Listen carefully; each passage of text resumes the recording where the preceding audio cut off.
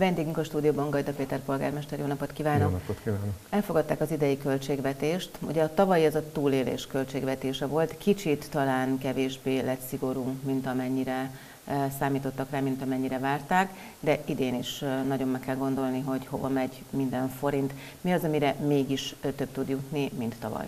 Hát valóban, ahogy említette, a pandémia miatt volt két nagyon nehéz évünk. Ugye egyrészt kevesebb lett az önkormányzat bevétel, ugye több oldalról jött ez így össze, főleg a kormányzati elvonások miatt, és nekünk is meg kellett húznunk sajnos a nadrágszia, tehát egy csomó olyan feladat maradt el, amit korábban elváltak és megszoktak tőlünk a kispestiek.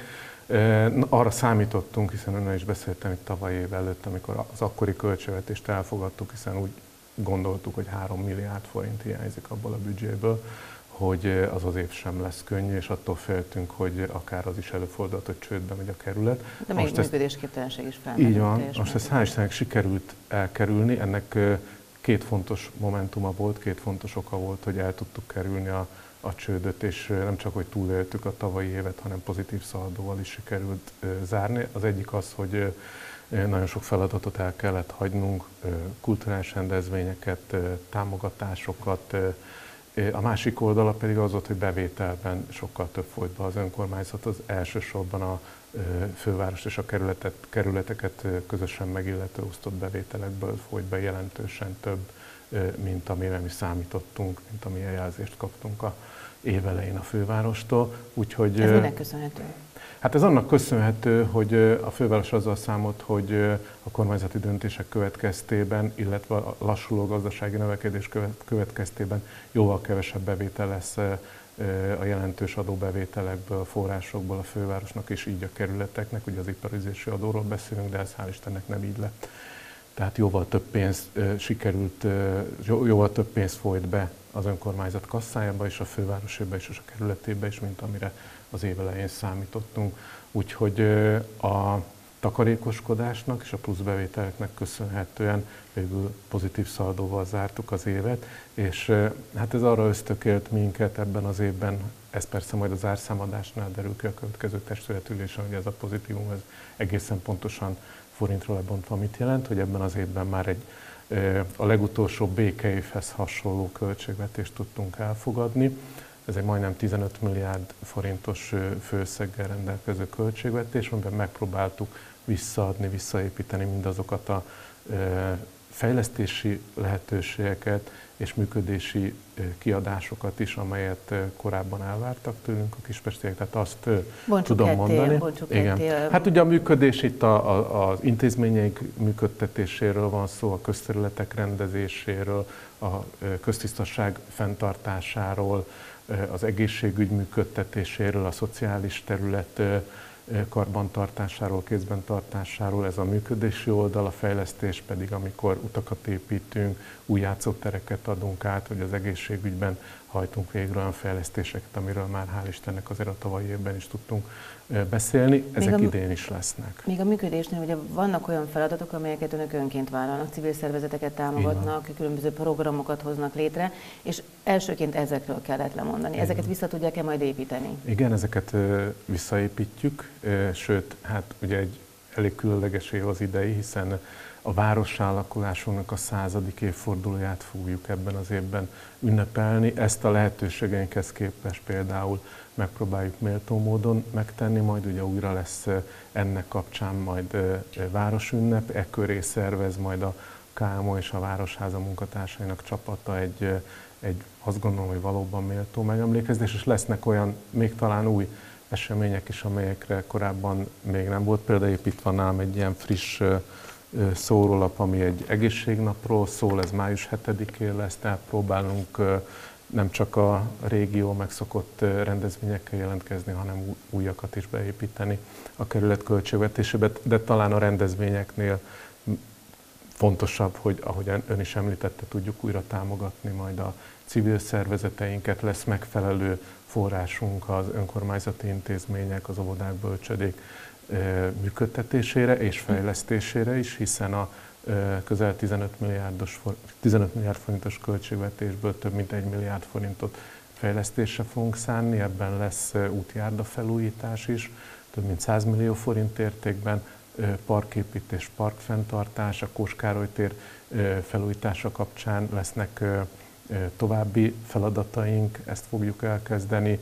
A lakótelepi részen is például a Csokonai utcánál egy új park kialakítását kezdjük, majd meg idén a tervezésre szánunk komolyabb összeget, és a következő években itt egy új park kialakítását tervezzük, majd házi orvosi rendelőket fogunk felújítani, a gyermekfogászatot újítjuk meg, kerékpárút fejlesztésbe is belekezdünk idén, úgyhogy tényleg azt merem mondani egyelőre, hogy úgy tervezzük, hogy visszatérünk a normál kerékvágásba, hát ha csak ugye a körülöttünk dúló háború ezt fölül nem írja.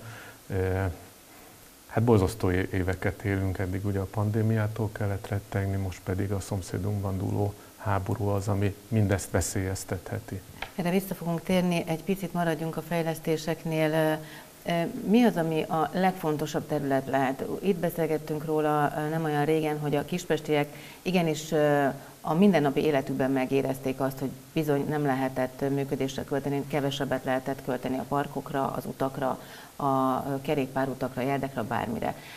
Rengeteg észrevétel érkezett ezzel kapcsolatban, de elkezdődött a munka már ebben az évben is.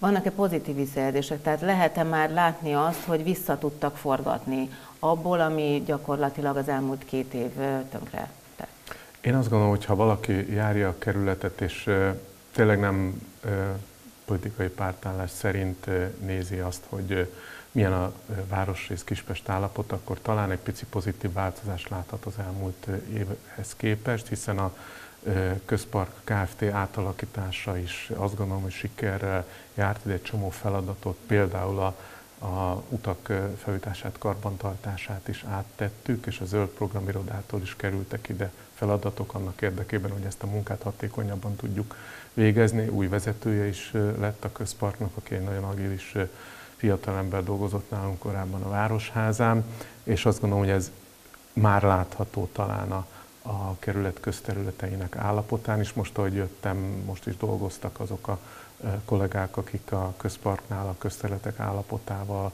a parkok karbantartásával, az utcáink, tereink tisztántartásával foglalkoznak.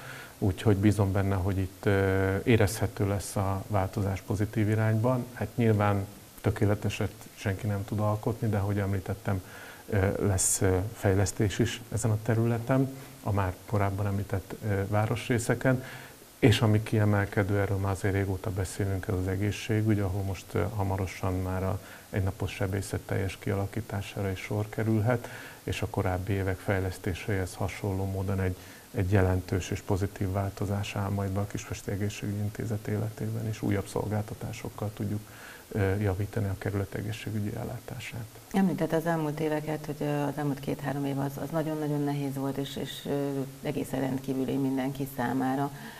Mit érez, hogy a, a kerületben kiket érintett ez a legnehezebben, és hogyan lehet nekik segíteni? Hát nyilván a, a, az idős és elesett nyugdíjasokat, de azt gondolom, hogy akik küzdöttek a, a pandémiával, a szülők, a gyerekek egyaránt, hiszen nagyon nehéz volt átállni az online oktatásra. Ez azt gondolom, hogy hogy megviselte a szülőket és a gyerekeket is, és hát nyilván ez a mindennapi életben is nagyon komoly fennakadásokat és gondokat okozott.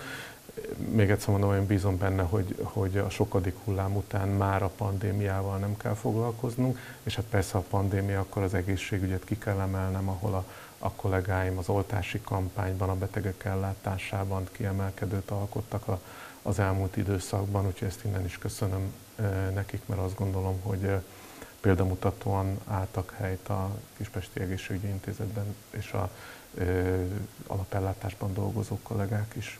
Mint ahogy helytállnak most a háborús időszakban is, hiszen itt van egy befogadó hely, ahol az Ukrajnából menekülőket ellátják. Hogyan működik ez, illetve mi a tapasztalat, az elmúlt hetek tapasztalata mi? Ez egy nagyon gyors munka volt, amit a kollégáim elvégeztek, és azt gondolom talán, hogy hogy példamutató is, bár mi sosem villogtunk, meg nem az volt a hogy rögtön feldobjuk a közösségi médiás felületekre, hogy milyen jól dolgozunk itt Kispesten ezen a területen, területen hanem abban a pillanatban, ahogy hozzánk a menedékkörök fordultak, és láttuk, hogy probléma lesz, mert a határon már egyre többen jönnek át, és próbálnak biztonságra lelni hazánkban, hogy ezzel feladatunk lesz. Ezért, ahogy kitört a háború, az első nap konzultáltam a kollégáimmal, az operatív törzs átalakult tulajdonképpen ebből a szempontból, hiszen eddig a pandémiás ügyekkel kellett foglalkoznunk, most pedig a pandémiával, illetve a háborús helyzettel, a menekült kérdéssel is. A szerencse a szerencsétlenségben az volt, hogy volt egy olyan önkormányzati ingatlanunk, amit viszonylag rapid módon át tudtunk alakítani befogadó helyé. Ugye ez a korábbi harangvirág bölcsöde volt, ami, amit a tavalyi évben helykihasználtság okán be kellett zárnunk, ugye konkrétan elfogytak a gyerekek ebből, a, ebből az intézményből, és gyorsan át kellett alakítanunk befogadó helyé. Persze ez, ezt, ezt így könnyű kimondani, de a kollégáim tényleg egy nappal áttéve dolgoztak azon, hogy az a befogadó hely minden jogszabálynak megfeleljen. Amikor megnyitottuk, akkor már a ANTS munkatársai kint voltak, tulajdonképpen leokézták a helyet, hogy ez alkalmas erre, és 24 menekült éjjel-nappali ellátására tudunk itt biztosítani befogadó helyet, teljes ellátást tudunk adni azoknak a menekülteknek, Ukrajnából menekülő embereknek, akik erre rászorulnak, háromszor étkezést tudunk biztosítani, természetesen itt főzési, mosási lehetőség is adódik, és nagyon fontos volt, hiszen sajnos tapasztaltunk olyat, hogy hogy vannak olyan emberek, akik ezt a helyzetet is ki tudják használni családmódon, hogy mi együttműködünk a helyi ukrán nemzetiségi önkormányzattal, akiknek innen is köszönöm a, a munkájukat, annak érdekében, hogy tényleg csak olyanok jöjjenek, akik valóban háborús menekültek, akik valóban segítségre szorulnak, és ebben ez, a, ez az együttműködés kiemelkedő volt a, az ukrán nemzetiségi önkormányzattal, tehát mi csak olyanokat fogadunk be, akiket az ukrán nemzetiségi önkormányzat javasolt, tehát olyanokat, akik tényleg Ukrajnából a háború elől menekülnek. Néhány napra jönnek, egy ideig itt maradhatnak, tovább tudnak menni, Igen. segítenek nekik az ügyintézésben. Jellemzően, jellemzően valóban nem arról van szó, hogy tartósan, tehát hosszú időig kívánnak itt maradni azok, akik a háború elől menekülnek. Jellemzően egyébként édesanyákról és gyermekekről van szó, hanem ők néhány napig tartózkodnak itt nálunk, elintézik az ügyes-bajos dolgaikat, nálunk valamelyest fel tudnak frissülni, és utána mennek tovább Európa szerte, Olaszországba, Németországba, Belgiumba, ahol éppen a rokonság van, vagy munkát tudnak szerezni. És hát nyilván mindenki reménykedik abban, hogy minél hamarabb vége lesz a háborúnak, és utána visszamennek, vissza tudnak menni, vissza tudnak térni Ukrajnába az otthonukba. Ezen túl persze, hogy, a, hogy ezt a befogadó helyet létrehoztuk, anyagi támogatást is, anyagi támogatásról is döntöttem, döntöttünk a kollégáimmal. Nem kezdtünk mi gyűjtésbe, mert azt gondolom, hogy ebben a helyzetben jobb volt az, hogyha azoknak adunk pénzt, mi az Ökumenikus Segélyszervezetnek utaltunk át egy millió forintot, akik ott vannak tulajdonképpen a, a határon, a frontvonalon, tudják, hogy mire van szükség, és nyilván támogatjuk információval azokat a helyi karitatív szervezeteket, e, szervezeteket akik pedig gyűjtést szerveztek, rendeztek a háború menekülteknek. Mi anyagi támogatást nyújtottunk ennek a segélyszervezetnek, pontosan azért, hogy hatékonyan tudjuk támogatni azokat, akik menekülnek. Köszönöm, hogy itt volt velünk. Köszönöm én is a lehetőséget.